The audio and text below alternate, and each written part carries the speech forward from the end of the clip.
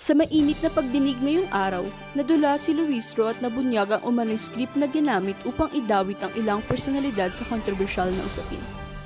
Isa na rito si Senador Laila de Lima na bigla ang naisama sa mga usapan matapos ang mga revelasyon ni Luistro. Ayon sa mga kritiko, tila may sabwatan upang idawit si de Lima sa mga isyong hindi niya direktang kinasasangkutan. Habang lumalalim ang investigasyon, inamin ni Senator Bato de la Rosa na wala siyang nalalaman tungkol sa mga bagong aligasasyon laban kay de Lima. Ngunit nagpahayag siya ng suporta sa patas na proseso ng investigasyon. Ayon kay Bato, ang pagkadawit ng pangalan ni de Lima ay tila may halong politika, lalo na't papalapit na ang susunod na halalan. Samantala, mariin namang itinanggi ni de Lima ang mga paratang. Sinabing isa itong scripted na gahakbang para sirain ang kanyang reputasyon. Hiniling ng kampo ni De Lima ang masusing pag-aaral sa mga ebidensyang inilatag upang masiguro na walang inosente ang madidiin sa mga walang batayang akusasyon. Abangan ang susunod na kabanata sa patuloy na paglalahad ng katotohanan sa investigasyong ito.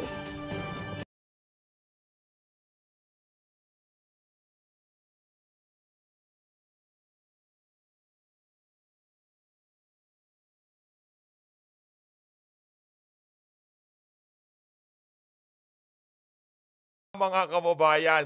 Simple lang ho ang mga punto de vista natin dito sa video na to. Kahit ano pang paninirang gawin nyo kay dating Pangulong Rodrigo Duterte, hindi ho yun mababago ang katotohanan na nung panahon ni Tatay Digong, yung mga self-proclaimed na drug lord, eh, nagtago, ha? Tumahimik ang ating mga karsada. Nabawasan ang kriminalidad, lalong-lalo na yung mga related sa illegal na droga. Ngayon ho, dito sa administrasyon na to, kung sino pa yung madadaldal sa social media at akala mo talagang pinaglalaban ng ating mga kababayan, muli hong lumaganap ang illegal na droga at kriminalidad ngayon sa ating bansa. Kaya mga kababayan, kayo na ho ang tumimbang kung sino ho ba talaga ang tunay na nagmamahal sa sambayan ng Pilipino. Itong mga senador at congressman na walang ginawa dyan sa kongreso kung hindi mag-imbestiga at hanapan ng butas ang nagdang administrasyon na ginawa lang naman ang kanyang trabaho na protektahan ang ating mga kabataan nung nagdang administrasyon o etong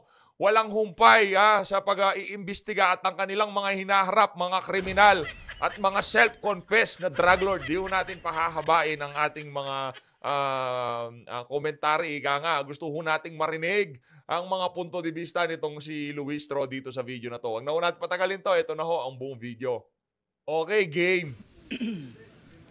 Hype na Can naman you ako. please Nakita ko tong si Luis Tro if eh. you are the same. Roland Eslabon Espinosa, aka Kerwin? Kayo po ba ito?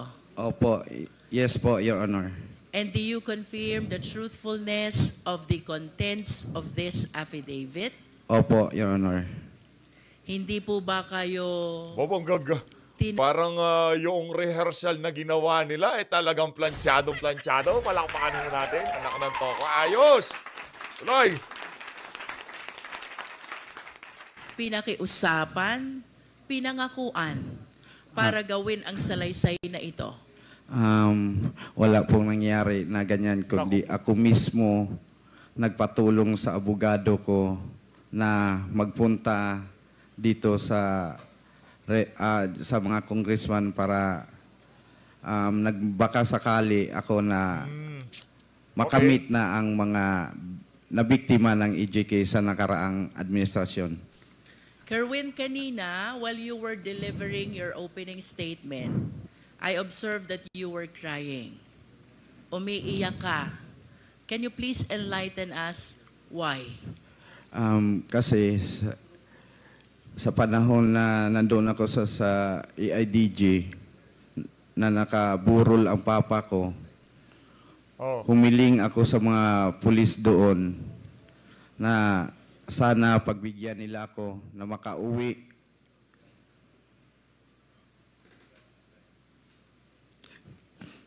Na makadalaw man lang at makita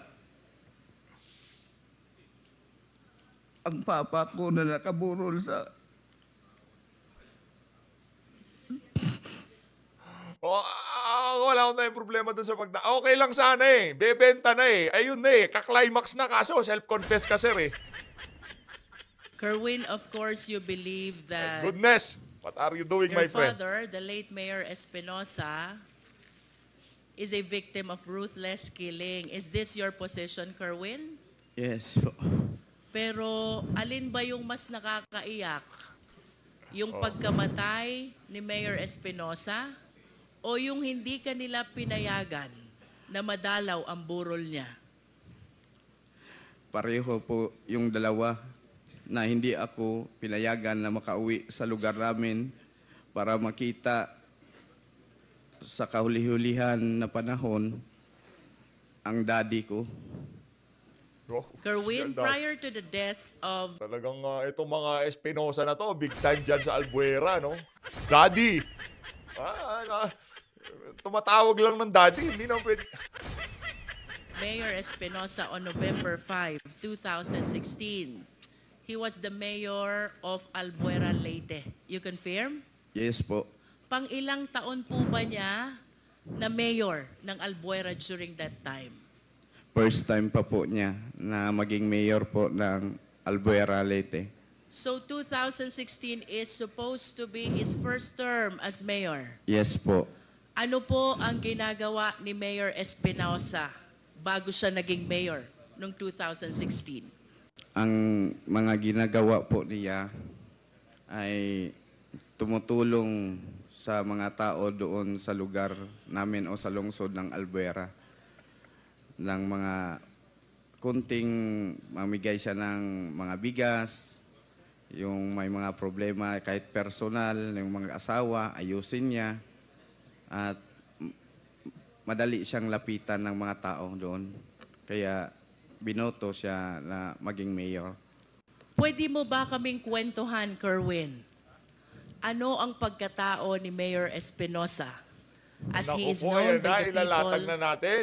Ilatag na natin na dapat maawa ang sambayan ng Pilipino dito sa mga Espinosa na to.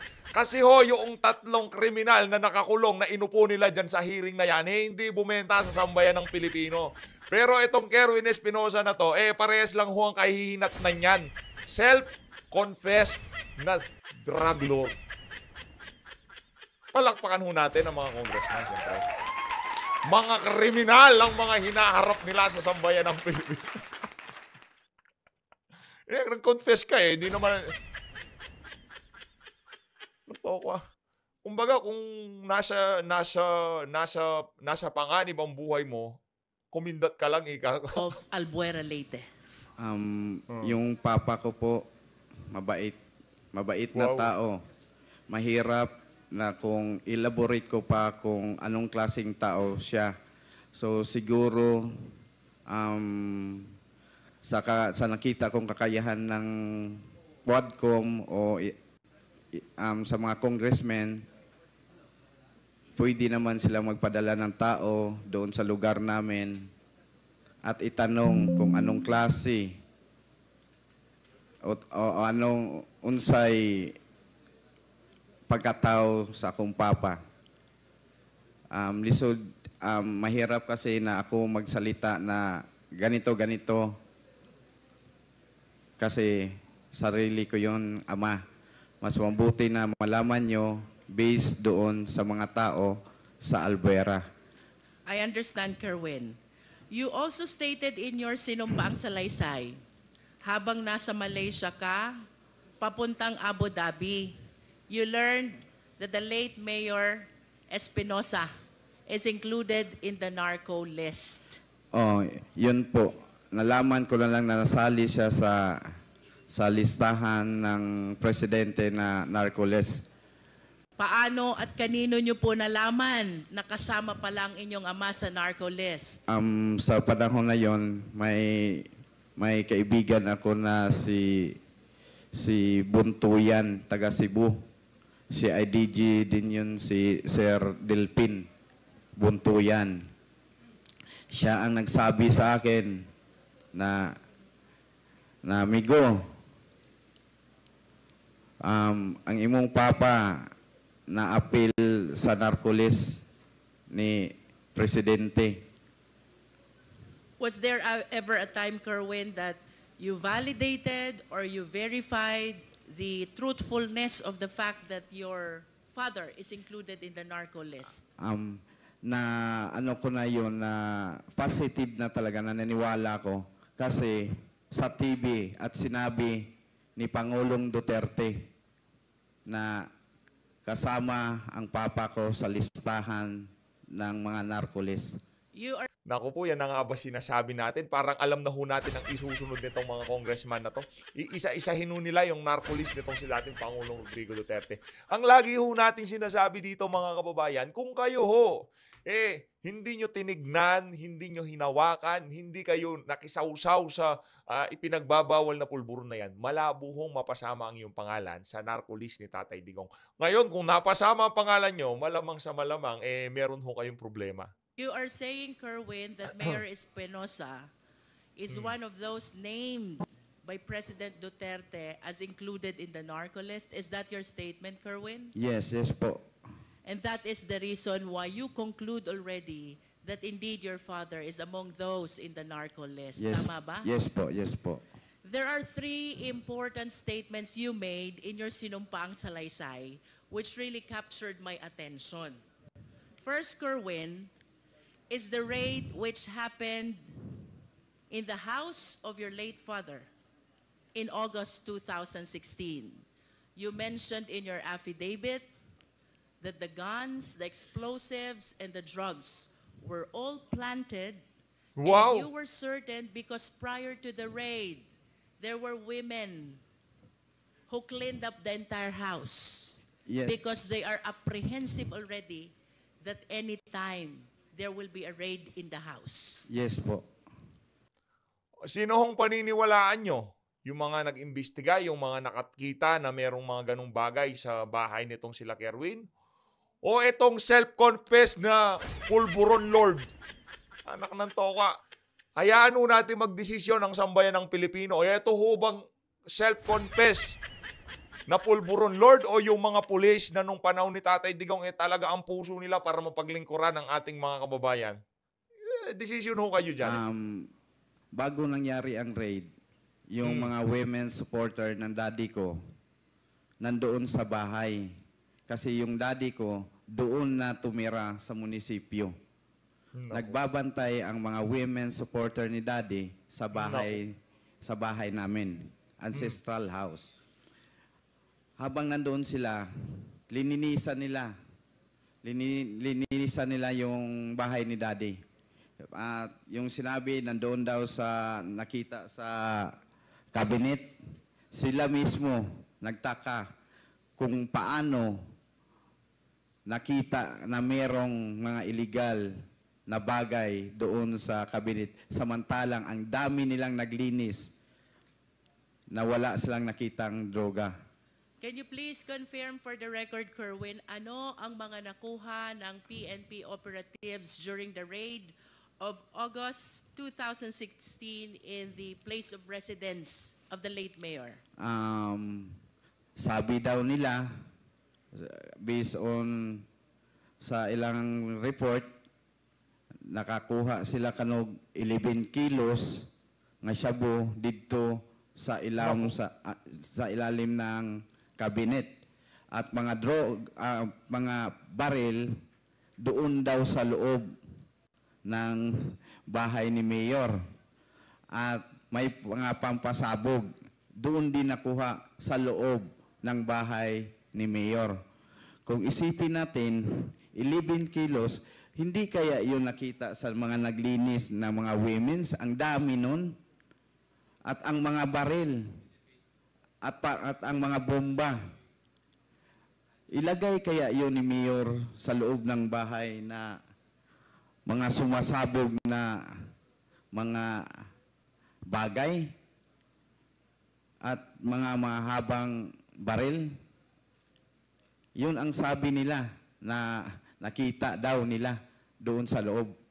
Pero walang kahit isa na taga-Albuera na, niwa, na maniwala sa kanila sa report nila na may nakuha doon. Kasi ang nagbantay sa sa ano sa bahay ni Mayor, yung ancestral house namin, nasa 70 saka mga babae nandoon sa bahay. Binantayan talaga ang bahay namin. Inano sila ni Joby na magkaroon ng raid, kaya tumakbo na sila. Natakot.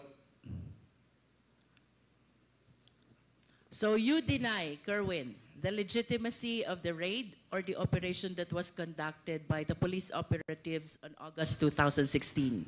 Opo. And can you please state for the record, sino po ba ang namuno? Sino po ang team leader ng naganap na raid sa inyong tahanan nung nasabing petsa? Um, Ang hirap po dito sa mga investigasyon na kinakandak nila dito. Kung ano lalabas sa bibig nitong mga self-confessed na drug lord, eh, yung unhong pinapaniwalaan nitong ating mga magagaling na congressman.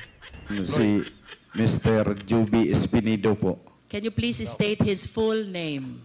Um, Job, uh, Police Colonel Joby Espinido.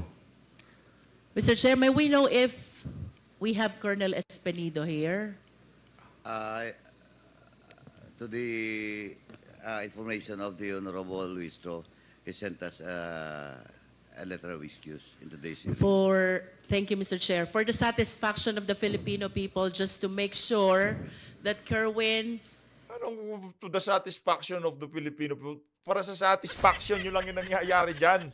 Satisfied ang sambayan ng Pilipino doon sa ginawang trabaho ni dating Pangulong Rodrigo Duterte na yung mga involved sa ipinagbabawal na pulburon. Ngayon, no, daming na nagugurgur sa daan. Ah, kinukuha ang motor, tinutumba yung may-ari. Ah, nagkakandawala ang mga bata, nakikita sa loob ng sako. Ayun ba nakakasatisfy hos para sa inyo? Para dito sa mga congressman, yun ba ang satisfaction para sa inyo? Makita nyo na ganito kagulo ang ating bansa? Nagtatanong lang naman ho tayo. is aware of the identity of the one he is naming as Colonel Jovi Espenido, may we request the Secretariat to flash a picture and let's hear from Kerwin Ready, if he ah. will be able to identify ah. who this person is. Yes Itatanong itong si Jovi Espinido, hindi present, pero yung picture nakahanda. Nakakanto Talagang tong si Luistro. Handang-handa sa script. Secretariat, please.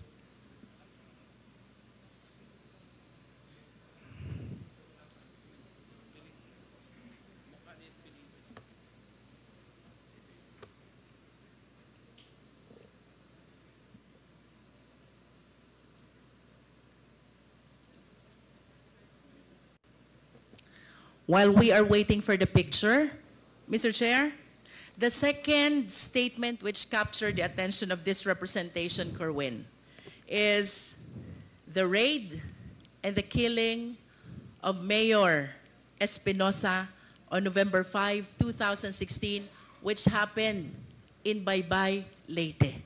You confirm this? Yes po, sa loob ng provincial jail ng Baybay Leyte.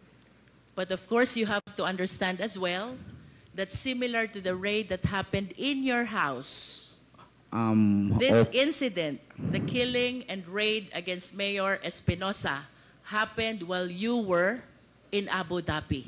Tama ba o- yon? Opo, wala po, di, wala po ako dito sa bansa. In Nasa other words, ako. you are relying only to your sources with regards to this story surrounding the raid and the killing of Mayor Espinosa in Baybay, Leyte. Yes po. And can you please enlighten us? For the satisfaction of the public who are watching us, Kerwin, because you went a long way for us to be able to hear these explosives of yours. Wow. For a period of seven years, naniniwala ang buong sambayan ng Pilipino sa naging testimonya mo sa Senate noon. Now you are completely overturning all your statements.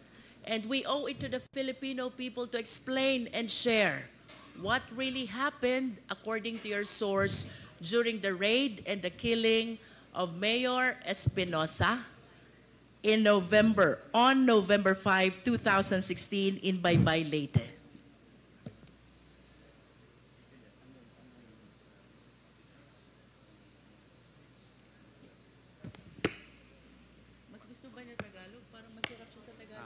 Um, Your Honor, pwede pong ulitin yung question Kayo niyo po ba, Kerwin ay mas komportable sa English or sa Filipino? Um, mas ano sa Pilipino na lang tayo. Filipino. Oh, Kerwin, maintindihan. you mentioned, oh. nabanggit mo sa iyong sinumpaang salaysay, bagaman ikaw ay nasa Abu Dhabi noon, ng iyong ama na noon ay nasa Baybay, Leyte Provincial Jail, ay ni-raid at pinatay ng mga operatiba ng pulis. Nasa Abu Dhabi ka noon at ikaw ay nagtiwala lamang sa testimonya ng mga taong naruroon sa insidente. Nevertheless, Kerwin, can you please share to the Filipino people what do you believe? Ano yung pinaniniwalaan mong tunay na pangyayari sa loob ng baybay, Leyte, kaugnay ng pagkamatay ng iyong ama? Um, naniwala ako doon sa mga nakapiit sa loob. Kasi sila ang nakakita at naka kitang-kita nila sa dalawang mata at narinig nila ang mga putukan. Kitang-kita nila from the very beginning, pagpasok sa selda ng aking ama. Kerwin, Shout out doon sa mga pamilya ng mga taga-Alvera ah, na mapahanggang sa ngayon meron silang kamag-anak na lulong sa ipinagbabawal na gamot.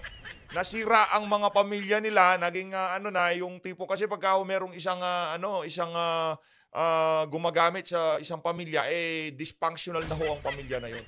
Para doon sa mga ah, gumagamit diyan sa Albuera at yung mga pamilya nyo ho, isa ho kayo sa nabiktima ng paglaganap ng illegal na droga bago ho dumating itong si dating Pangulong Rodrigo Duterte. Shout out ho doon sa mga pamilya na yon.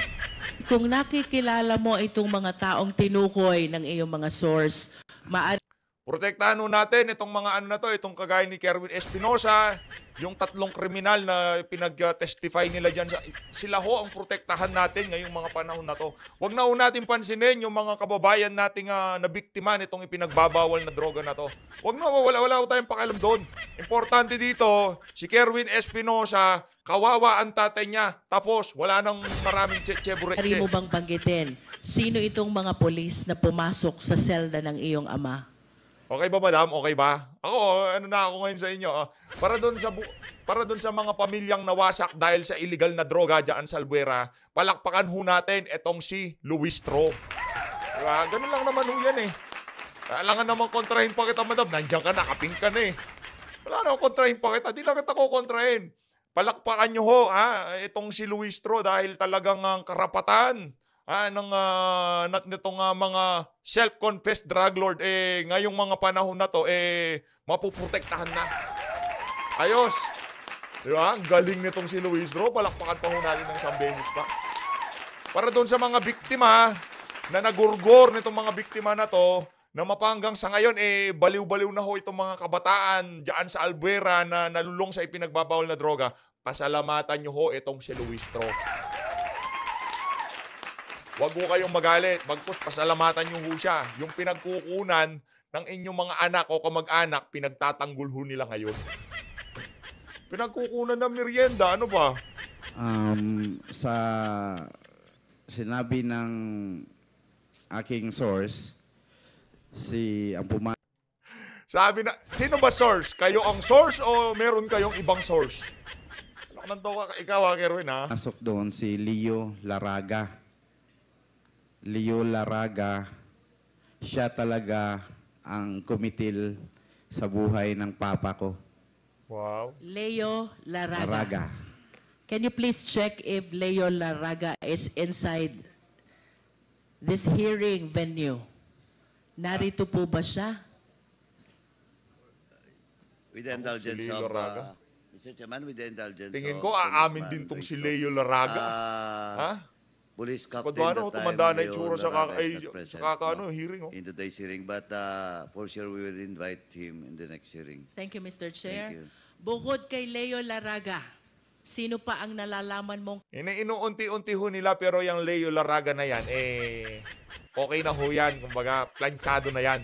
Pero again, babalik pa rin ho tayo doon sa ano, doon sa ating issue dito. Sino hong mas pinaniniwalaan nyo? Yung mga pamilya na mapahanggang sa ngayon, eh, hindi ho nila alam kung paano aayusin yung mga kamag-anak nilang nabaliw dahil dyan sa pinagbabawal na droga na yan. Na ngayon, sa, dyan sa House of Representative, eh, concern na concern itong mga congressman sa well-being nitong si ah, Kerwin Espinosa. Self-confessed drug lord. Kasama nitong mga Hirap, no? nag-raid at nag-operate pumatay sa iyong ama. Um, si Colonel Marcos, nag-raid ka agad. Nag hindi pwedeng di umano, nag-raid at pumatay sa iyong... Hindi pwedeng ganon. Kagad, nag-raid ka agad. Mantoko ah. at si si Sir Matera kasi mga, mga kaibigan ko sila. Kerwin, regarding Colonel Marcos and Colonel Matera, if they are present in this hall, can you kindly point at them? Ituro mo sila kung sila'y naririto sa bulwagang ito. Colonel Marcos and Colonel Matera. Yan, yan, yan.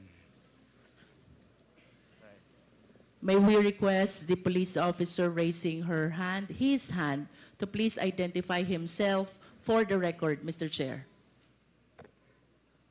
Mr. Chair, Honorable uh, Committee, I'm Ay! Police Colonel Marvin Marcos po. Pa- pa- pa- pa- pa- pa- Pamilyar sa akin itong hugis ano na to.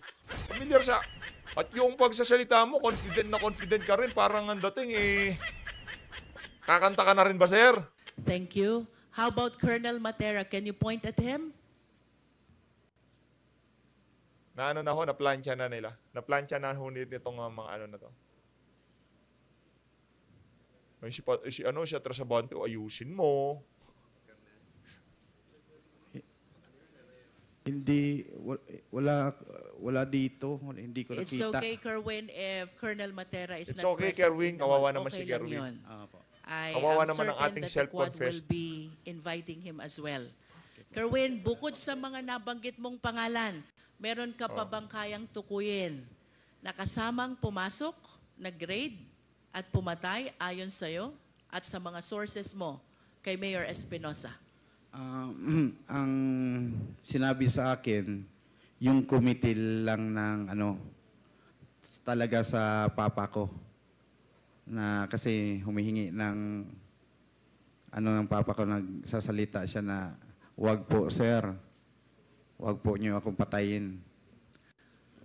Who were present? Sinong nakasaksi dun sa sinasabi mong pagpaslang sa iyong ama? Ang mga detainee po, Can you please name these detainees who were able to witness that incident?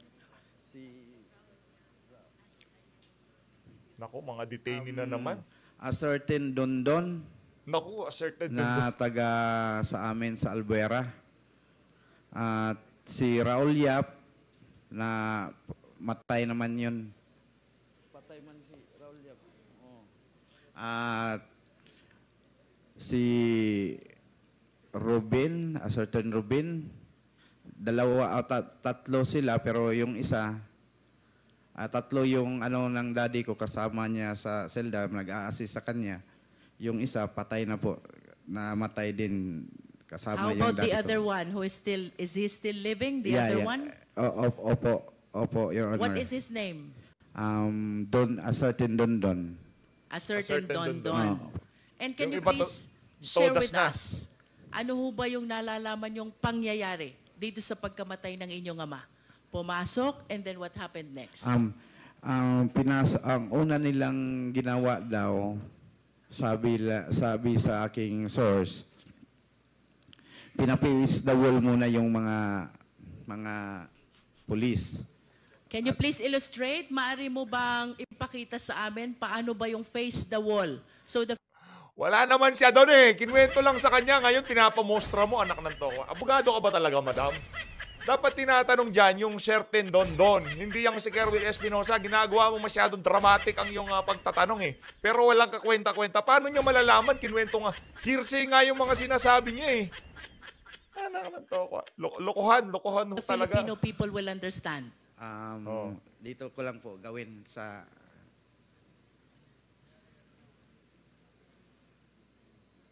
Oh. Ano ko nandoon? Lokohan ho, lokohan to the max.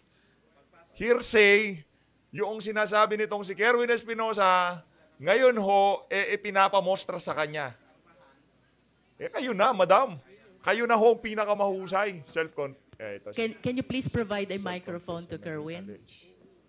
Baka abot yung na kay Comsec.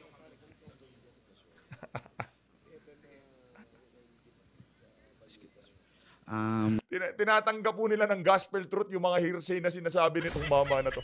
Diyan lang ho sa quad committee tatayo yung mga ano na yan, yung mga litanya nitong si Kerwin Espinosa. Sa korte ho, hindi tatayo yan. Mga pagbungat pa lang, eh, yari, yari na kayo kagad. Anong, na, nasan si alias Dondon? O, paano mo nakita Dondon? O, sige, ano yung mga ebidensya mo doon, alias Dondon? Certain Dondon, o. ganito po ang sinabi sa akin na nangyari nung raid. Um, pumasok yung mga operatiba at dinis armahan ang mga on duty sa oras na yon. Nung pagkatapos nilang nadisarmahan, ganito po, pinapace the wall sila.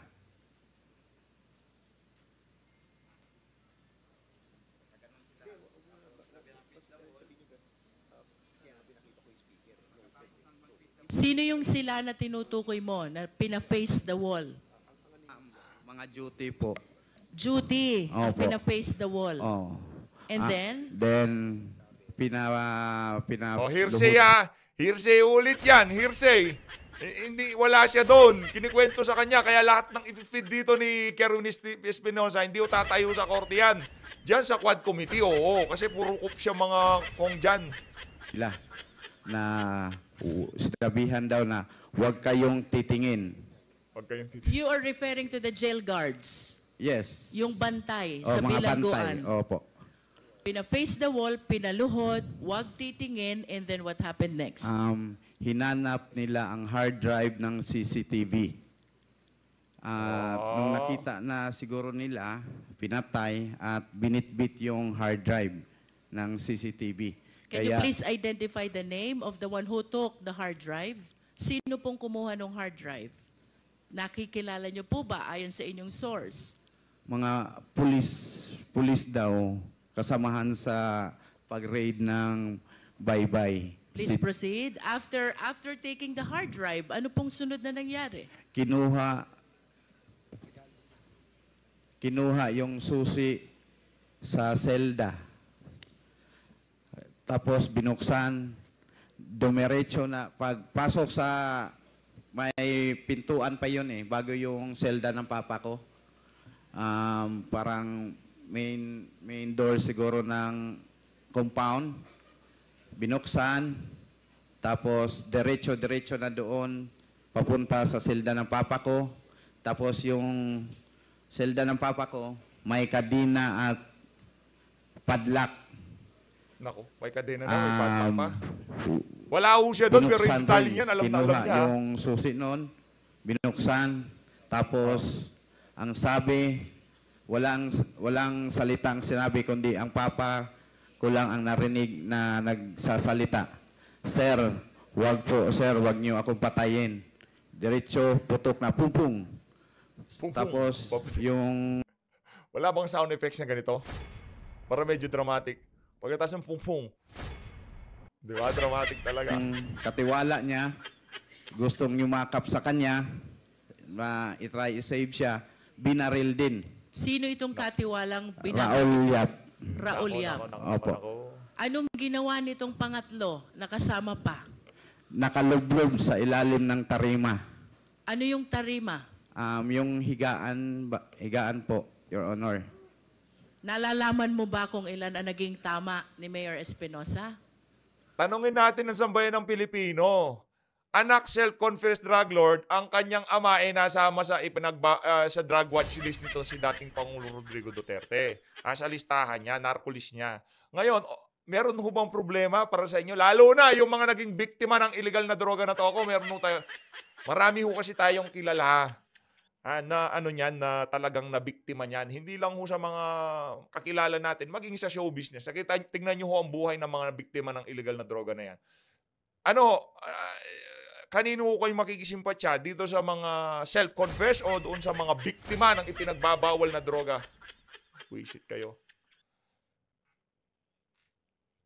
Um, pa, Nakakagalit ah. um, hindi ako sure or five, more than five, More than five. five, more than five bullets ang na tumama sa kanya. Kerwin, thank you for illustrating. You can go back to your chair.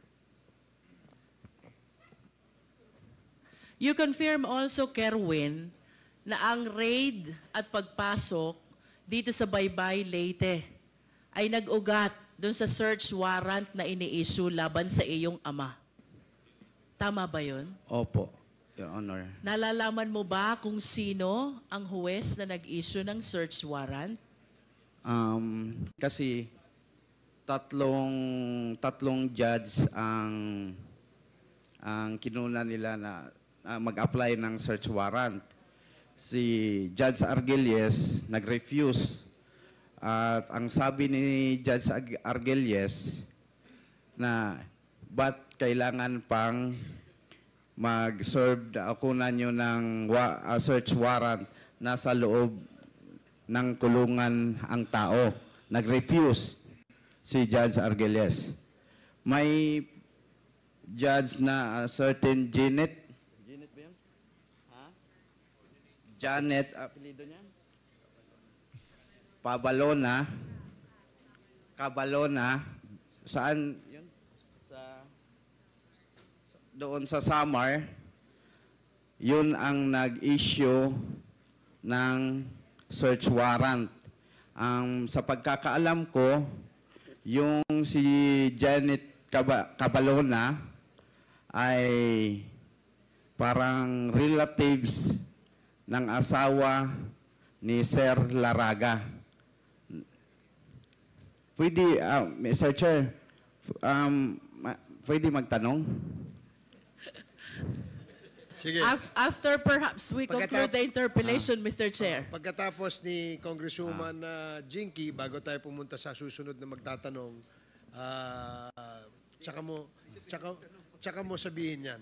Okay po. Mr. Chair, our resource speaker mentioned already the names of the judges. Some refused to issue the search warrant while there Oh, is one. ipapatawag na niyan yung mga judges. Oo, ginawa namin yan. Sinabi ko yan sa kanila, di sila We naniwala. did eh. issue the search warrant. I just wish to manifest, Mr. Chair, that it is very unlikely in the practice of law that a search warrant is being issued to search a confined place, much more a detention facility. That is for the record, Mr. Chair. Kerwin, I'm leading to my third question. Naku, ito November na, ito na. 16, 2016. Ito na yung Through tanong. the coordination with the Interpol, iniuwi ka dito sa Pilipinas. Pagdating sa airport, you were arrested at sinalubong ka ni Senator Senator Bato. Bato de la Rosa. Nakikilala mo ba si Senator Bato? Siyempre. Bisa, Bakit mo siya kilala? Mata, matapang yun. Puro barilan-barilan ang hahamon sa TV ng draw Naku. sa mga illegalista. Oo, tama naman, What else illegalista. do you know about Senator Bato? Ah, Bago pa siya naging senador. Ah, ang, ang statement niya unya kay Senator Bato, matapang yun, ng hahamon ng ah, gurguran na sa mga illegalista, okay? Illegalista! Malinaw! Ah, galing na mismo. Eh, Itong self-confess talaga na to. Oo, galing ah. Saan ba si Senator Bato? Chief PNP yun po, Your Honor. Uy, Chief Yun, oh. PNP. oh. Ano? Okay, can you please identify the picture on the screen? Sino ba yung nasa screen? Para naman tanga to si Siya po, si Bato de la Rosa. During that time, ano bang assignment ni Senator Bato during that time? Yang kwinekwento mong insidente. Nasaan siya noon? Um, siya ang O, pag panahon ng mga Duterte ulit, tago ng mga durogista, mga Sen Confess, ha? Pati yung mga pati yung mga walang kwentang politiko, tago na rin kayo. Dahil panigurado, marami kayong ginagawang kabalbalan ngayong mga panahon na to, eh, mabubulgar hulat yan. Chief PNP. Yes, you stated in your sinumpaang salaysay na may sinabi sa'yo Opo. Ang noon ay PNP Chief Bato na Opo. kailangan mong gawin kapalit ng iyong pagkakataon na mabuhay. Opo. Do you confirm this? Yes po. Can you please tell us, Um, anong sinabi sa'yo ni Senator Bato? Sinabi niya sa akin, sumunod ka sa plano. Kung mm, kung si kung sumunod ka kung sino ang babanggitin mo para maligtas ang buhay mo. Kung ayaw mong sumunod, ikaw na ang susunod sa tatay mo or isa sa membro ng pamilya nyo may mangyari na masama. You mentioned about plano. Can you tell us, ano ba yung planong tinutukoy? Um, i- mga, may mga pangalan na pinid sa akin, sinubo, at babanggitin ko sa aking testimonya o sa aking salaysay sa Senado. At maari mo bang sabihin, sino ba itong mga taong ito at anong gustong Wala na akong parliamentary courtesy-courtesy ngayong mga panahon na to. Basta bibirahin nila mga kaalyado ni Tatay Digong. ipabanggit sa'yo ng noon ay PNP Chief Bato? Um, Peter, Peter Lim, supplier daw ng supplier daw ng shabu pero nandyan lang tapos hindi na huli-huli. Tapos si Senator De Lima, protector Naku, daw na ba? Oh. sa mga shabu, mga nagtitinda ng shabu sa loob ng bilibid. Protector daw si Ma'am Laila. Tanungin ho natin yung mga taga mga merong kamag-anak taga taga Bilibid. Tanungin niyo ho yung mga kamag-anak nyo kung kayo ah, na-dismantle lang ho yan nung panahon ni Tatay Digong.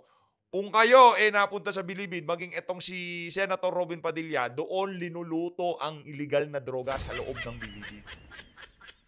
Ngayon, kung ikaw eh DOJ secretary, alam ko DOJ secretary noon itong si ano, itong si ah, Leila de Lima, at noong panahon ni Panot, eh, talagang napakatalamak ng illegal na droga. Ngayon, ikaw ang uh, may, tumitimon diyan sa ano, diyan sa Bucor at napakaraming kubol at uh, mga lutuan ng uh, ipinagbabawal na pulburon, hindi mo na dismantle yon, hindi mo na discover yon nung pa- kapanahunan mo bilang DOJ secretary. Eh talagang meron hong problema sa inyo. Yun ang sinasabi natin dito. Kaya para dito kay Senator Laila de Lima, naku po, sisikat ka nito. Yung iba pa, Na-content ka namin nung wala sa Ah, oras. si si Lovely Impal, Lovely si Impal. Jiraham, Hmm. si Peter ko, ganon. In Sila other po. words, Kerwin, ang gusto... Pero itong mga politiko na to, alam na nila gagawin pagkaupo ng mga Duterte. Alam na alam na nila ang mga gagawin nila. For sure. ni PNP Chief ay banggitin mo itong mga pangalan na ito na may kaugnayan sa illegal drug operation. Tama ba yun? Opo. At ito ba'y sinunod mo, Kerwin? Talagang sinunod ko po kasi Bakit mo to sinunod? Of course, alam mong mali ito. Oo. Di ba? Bakit mo sinunod? sen ba to, ang- sen ba to ano, magpatawag na ho kayo ng hearing sa Senado. Sa tingin natin kailangan nyo na magpatawag. Kasi binubugbog ho kayo, wala ho kayong laban, sa totoo lang. Magpatawag ho kayo, ipatawag nyo yan in aid of legislation. Pag nag-perjury, i-contempt nyo dyan sa Senado. Kung ako sa iyo, magpatawag na kayo ng hearing. Kasi hindi titigil to mga ungang na to. ang utos ng nonay PNP Chief ba to? Um, kung siguro kayo, um, kung kahit sino naman sa atin na mga tao dito, nandito sa loob ng Quadcom, talagang susunod dahil kapalit na yon ng buhay mo. At lalo na pag may mga anak ka pang maliit na sabihin na susunod ka na sa papa mo kung hindi ka sumunod sa aming plano.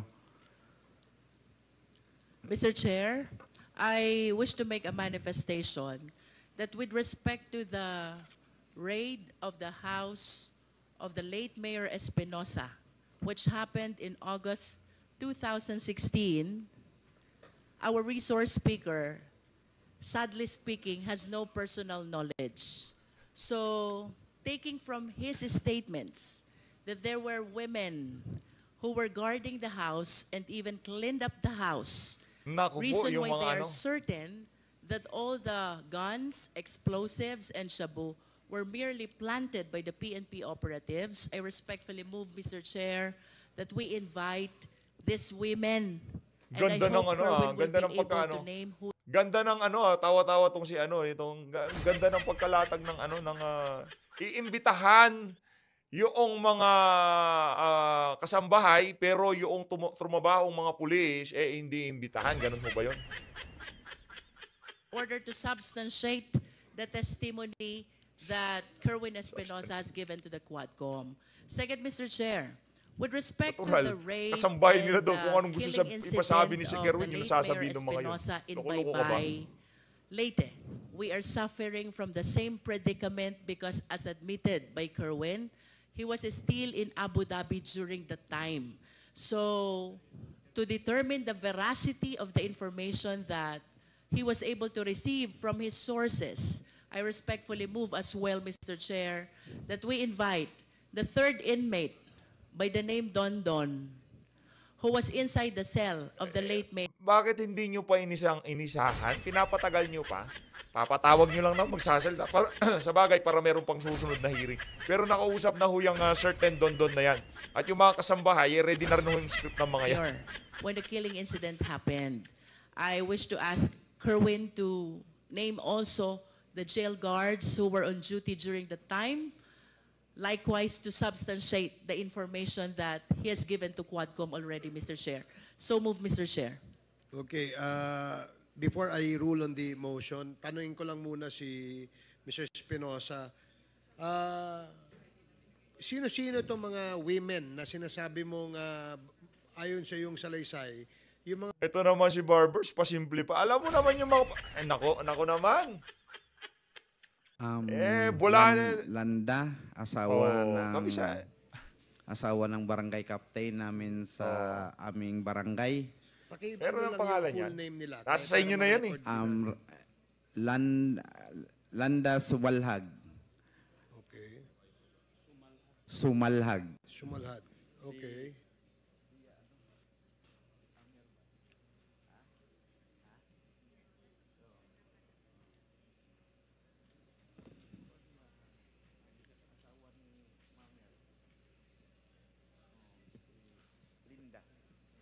Um, Linda Rosal. Linda. Um, TC de la Austria. Ayun o. Um, yung Kabisado, tatlong kabisado bilanggit mga ko, pangalan. sila na ang sila na ang Sabi 10 minutes. magpatuloy na magbanggit kung sino-sino ang kasama nila doon sa mga women's supporters ni Daddy. Papa, yung, ah, sim- yung isang ah, Supporter ho yun ni Daddy. Yung mga pulis, di nyo imbestigahan yung mga nag-raid. nasa loob ng kulungan na ah, isang ah, PDL din. Anong pangalan niya? Don Hindi man ho one-sided tong hearing na to eh. Dami, isa lang ho side. Don Don. Certain Dondon. So there is a motion to invite uh, the women who according to the sinumpaang salaysay ni Kerwin Espinosa ang uh, siyang uh, naglinis ng kanilang bahay bago po ni raid ng uh, membro ng Alberta Police ang kanilang bahay. And a certain uh, Dondon uh, who is a PDL and who apparently saw the incident that happened inside the jail. Uh, is there a second? Is there a sec- there's a second? Are there any objections? So hearing none, the motion is approved. Comsec, Mr. please Chair. invite the following uh, personalities mentioned by Mr. Espinosa in the next uh, Quadcom hearing. Mr. Yes, Chair. uh, Congresswoman uh, Luis. Can we please invite as well the jail guards who were on duty if we have the means to determine who these people were? Alam nyo na, kayo po. Kindly uh, Alam nyo na. determine who this Kahit uh, hindi sila yung jail guard, papuntahin nyo dyan, uh, on nyo. duty at the time of uh, the incident uh, and uh, report to the Quadcom. Thank you. Anything else? Uh, Mr. Chair, I'm about to conclude. Okay, thank you. I just have one quick question for Pidea. Oh. Pidea, sir. Palagi pong nababanggit itong narco list. Even from the time of the three Chinese drug lords to the time of PCSO Board Secretary Wesley Barayuga, and now we are confronted by the killing incident as alleged by Kerwin committed against Mayor Espinosa, who allegedly was included as well in the narco list. Can you please enlighten us? Ito ho ba'y chinek nyo? If during the time, the name of Mayor Espinosa indeed appear in the narco list? Uh, Mr. Chair, Your Honor, yes, uh, the names of uh, the father and son appear in the original list.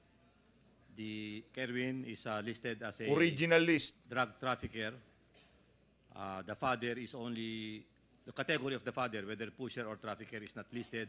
But in the list, he is already uh, indicated as neutralized. So, uh, you know, he was, uh, I mean, he was dead already. Would you neutralize because dead?